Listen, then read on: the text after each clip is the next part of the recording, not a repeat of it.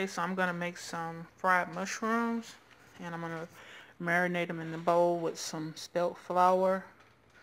And I'm getting this um, inspired from Ty's Conscious, Conscious Kitchen.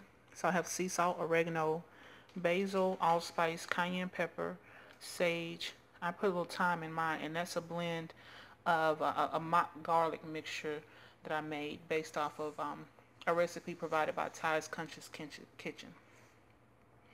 So I'll be back once I have the flour. I'm going to also add about, um, depending on how much flour, because I'm going to make it into um, kind of like a batter and let the mushrooms soak. And so I'm going to probably put about um, maybe a fourth cup of flour or however much it takes to make it into a batter. And I'll be back to show you how that looks. Okay, so here I have the batter mixed.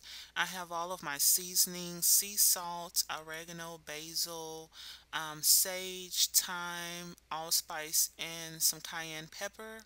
And I have a little mock garlic mix and I've uh, gone ahead and um, I've sliced up the portobello mushrooms and I'm going to add them to the mixture. Here's my dry mixture. Um, what I've done is basically put a blend um, of the same exact amount into both bowls of, for seasoning.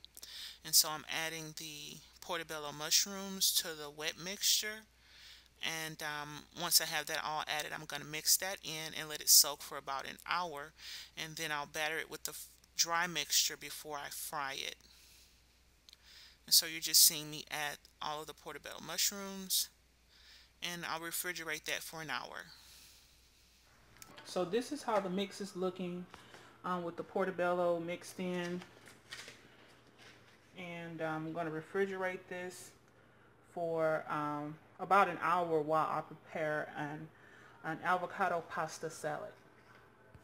Okay, so I'm frying up the last of the mushrooms, my chicken fried mushrooms. Those are some I already got out the skillet. I haven't given them a try yet, but they seem like they're going to be pretty crispy.